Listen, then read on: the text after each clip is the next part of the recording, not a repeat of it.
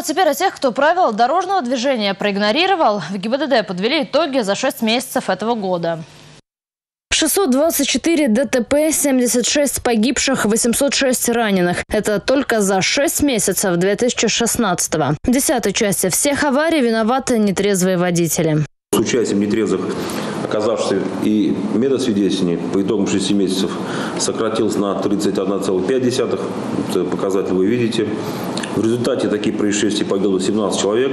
ДТП допустили с участием водителей, которые в нетрезвом состоянии на территории Козловского района до трех, Маргаушку до пяти и Чебоксарского района до шести. Из хороших новостей. По сравнению с прошлым годом аварийность все-таки снизилась на 13%. Количество ДТП с участием детей до 16 лет тоже сократилось более чем на 11%.